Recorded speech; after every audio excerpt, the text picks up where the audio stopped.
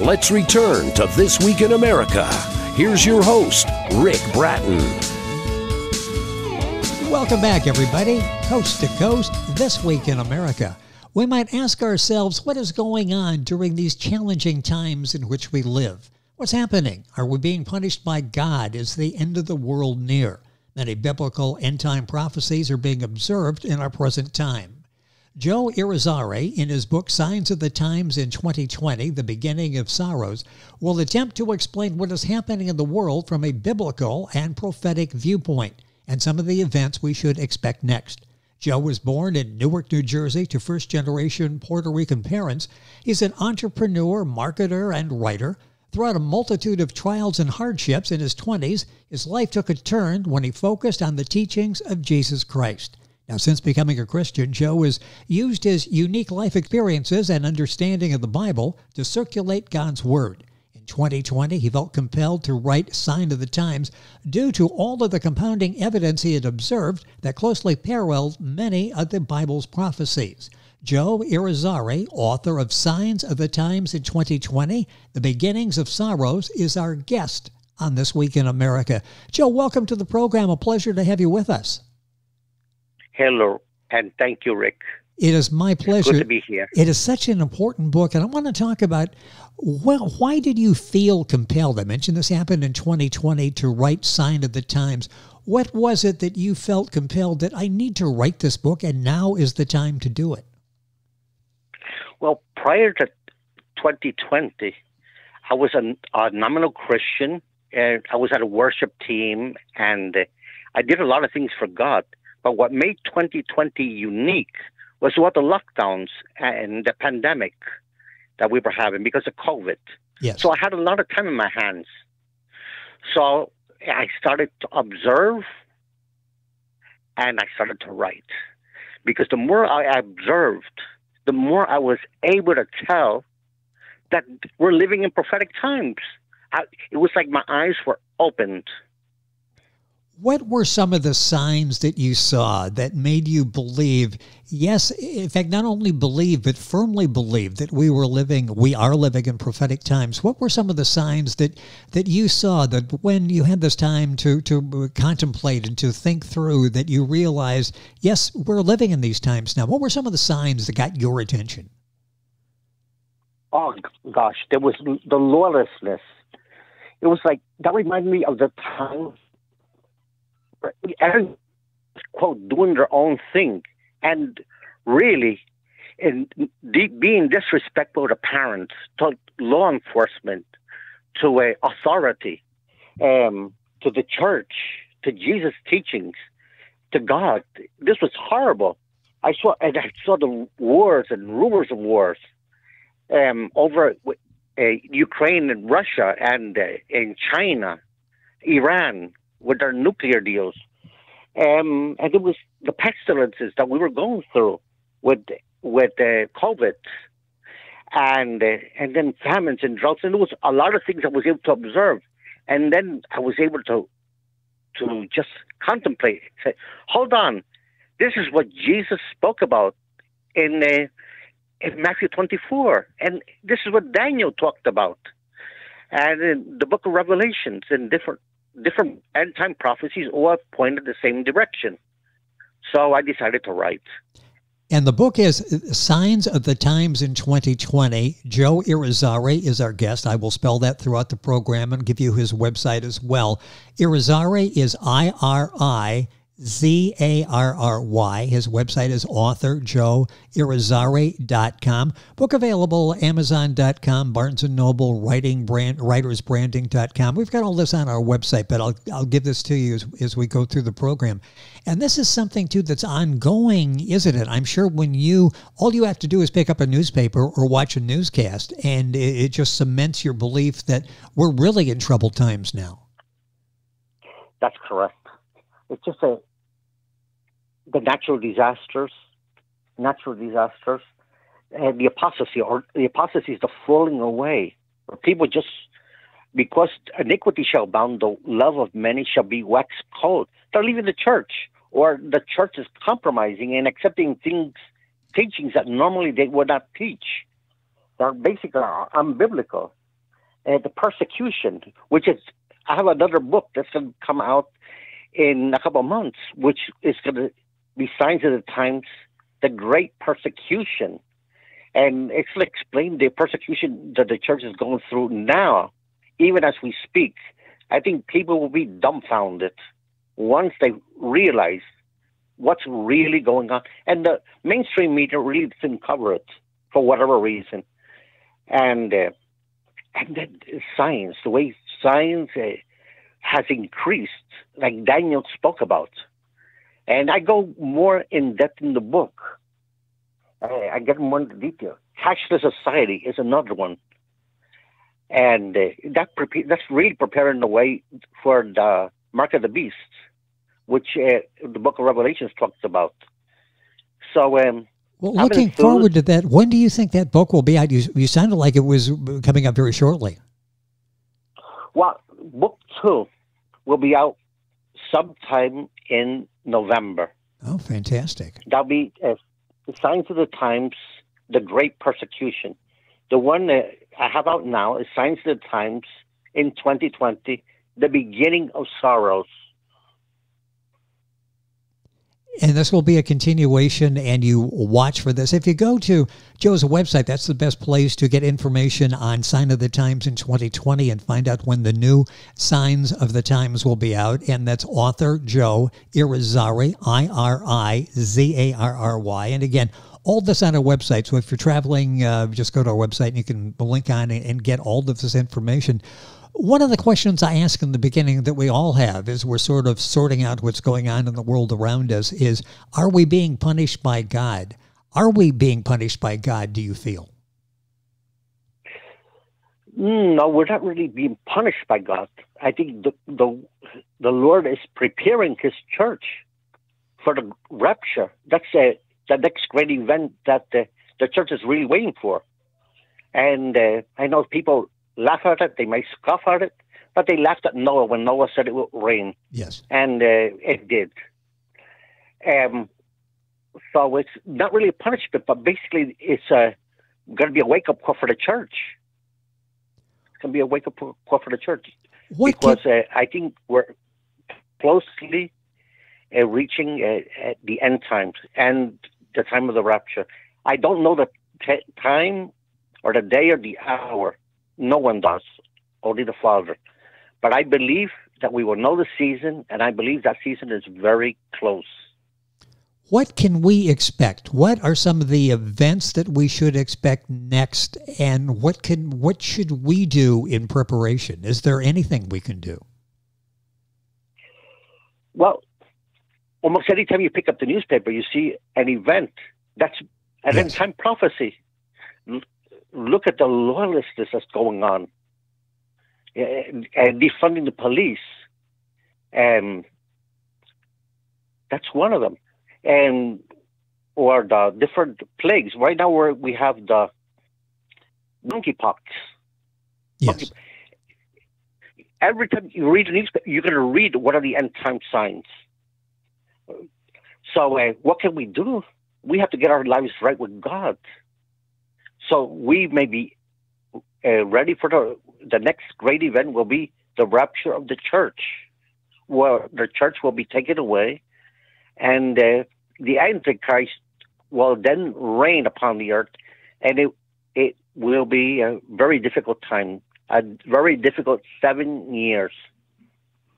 When you were writing Signs of the Times in 2020, the beginning of sorrows, talk about that experience, how long it took you the research you had to do and your thoughts as you were putting this together because you're building a case that these are are are difficult times and going to be difficult times. What was this writing the book process like for you in putting this all together and maybe some some revelations uh, to yourself that you didn't even consider before you started writing the book Signs of the Times?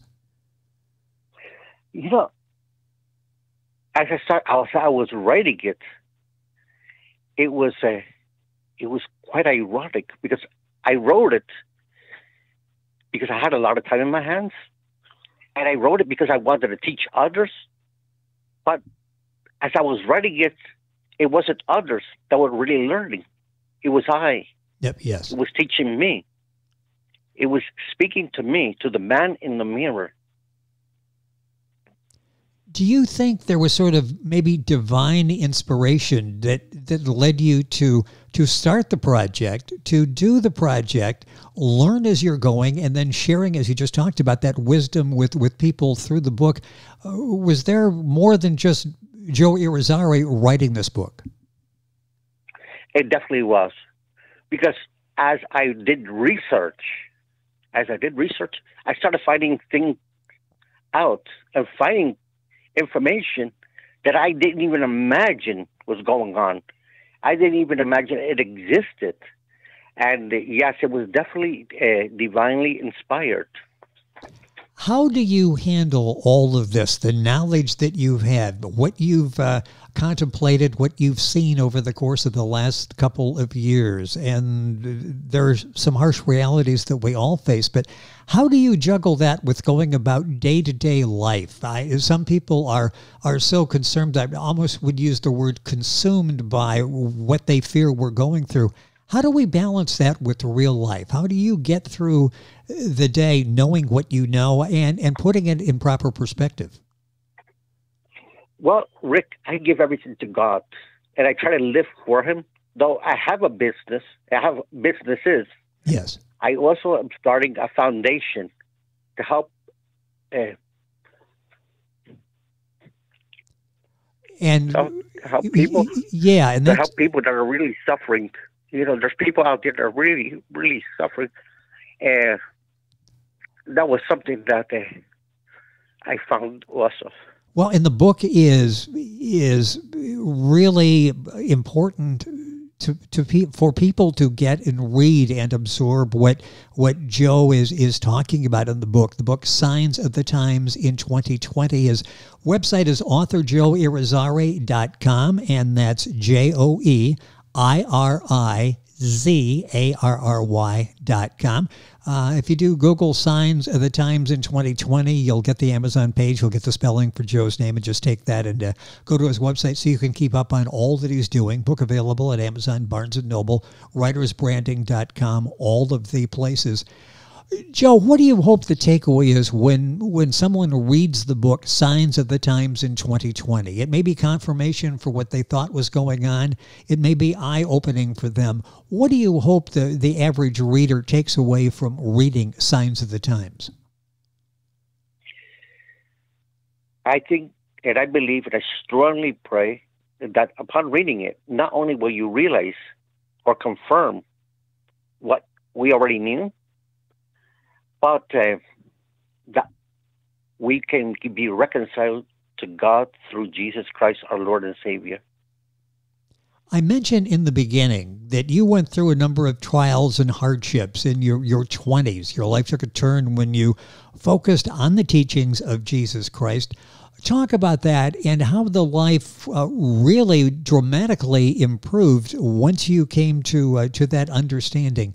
What was it like before, and then what was it like afterwards when you opened your, your life and your heart? Well, Ric, I was born in Newark, New Jersey. It's not an easy place. It's a, rough, uh, it's a rough city, and uh, very dangerous. I was exposed to a lot of dangerous stuff and uh, drugs, very horrible lifestyles and uh, drinking. And uh, I was basically on drugs, uh, getting ready to die. And uh, I cried out to God. I asked God to forgive me. Because, see, I was preached to before, but I didn't listen. Uh, yes. See, I was a young man and I thought I was going to live forever. Sometimes we think we believe we're immortal and we're yes. not. Yes. And when I saw myself basically at death's bed, I uh, I asked God and I made a pact with God. I said, Lord, look, if you heal me from this, I'm going to serve you. And uh, he did. He kept his end of it. And that Sunday, I was in church and I gave my heart to Jesus Christ, and my life has changed ever since. The book is Signs of the Times in 2020. Joe Irizarry is our guest on the program. Uh, time going by quickly. A few minutes left in the program. Uh, I mentioned how important it is for you to get this word out. I know you've started uh, uh, a service a few years back to uh, to reach out to Latin Americans and, and, get messages out to them. How important is it for you to to spread this word? Uh, you're doing it in the book, and you're doing it with your your actions uh, throughout the, your life now. How important is it for you to share th- this message with the, with anybody that would listen? Well, it's extremely important. You know, um, there's some people who are completely hopeless, and uh, sometimes we live in our own comfort zones. Uh, we live in our uh, rich uh, suburban areas, and sometimes we have our own little world, our own little groups, our own set of people, our own set of friends, and we forget that there's people out there, even in our own country, who are suffering who are going through very, very difficult times. And in Latin America, there are places that are horrible. They're not risking their lives coming over through the southern border for nothing. A lot of them are desperate. Yes. You know, and so uh, I want to reach out to them. You've I used... want to reach out for them. I want to help them, and I want them to, instead of have, being hopeless, to be hopeful and have their hope in Jesus Christ. And I sense that's where you are. You are hopeful now. Am I correct? That's correct. And you could share that uh, that same emotion uh, that Joe has, and uh, one of the guides to get you there is Joe's book, Signs of the Times in 2020. You quote Romans 15:4, and I just um, in one of the, the the interviews I saw with you, and it says, "For everything that was written in the past was written to teach us." So that through the endurance taught in the scriptures and the encouragement they provide, we might have hope uh, talk about why Romans 15:4 is so important. And you just touched on that before with hope. Hope is really what we all need to hang on to, isn't it? That that is correct. Without hope, we are miserable. And you know, it's funny. Funny you should mention it because uh, that's why people probably turn to drugs and alcohol. You know, they feel an emptiness inside, and they they try to fill that void with the wrong materials, with either drugs or alcohol or sex or and you know they have to fill themselves up with God, with Jesus, and uh, once they do, they will feel fulfilled. They will not have that void any longer. What do you say to people who say, you know, this is in the Bible, it's inevitable, it's going to happen. I really feel hopeless. There's nothing I can do. What encouragement would you give them? Well, look, a lot of bad things are going to happen. There are good things that are going to happen. But ultimately, God has a beautiful reward. He has a beautiful place for those who have faith in Him. Signs of the Times in 2020 is Joe's recent book, and uh, I'll spell it so you've, you've got all the information here. Irizarry is I R I Z A R R Y. The book, as I said, Signs of the Times in 2020, The Beginning of Sorrows.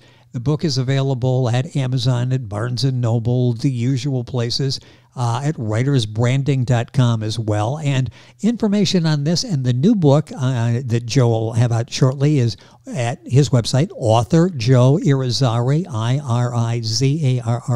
dot com.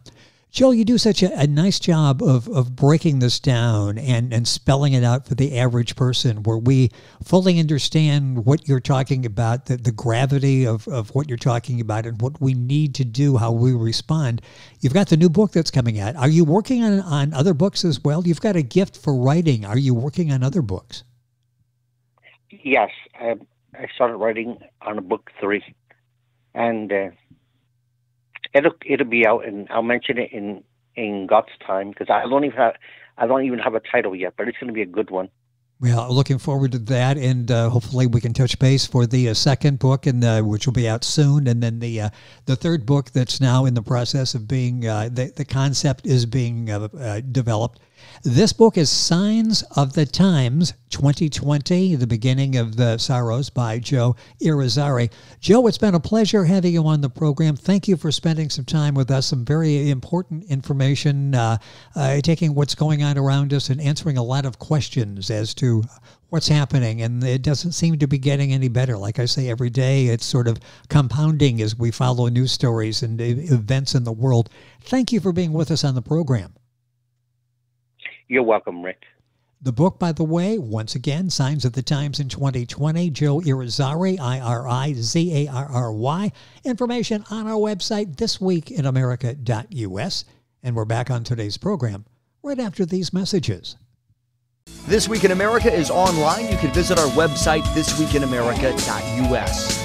Scott Pinkerton, associate producer of This Week in America. Jay Anderson, segment producer. Ben Watson, webmaster. Otto Bechet, director of engineering and TV production. This Week in America produced and is a trademark of Blue Funk Broadcasting, LLC. For information on all of our guests and to listen to this week's show, our website again at thisweekinamerica.us. And I'm Sean Bratton, executive producer of This Week in America.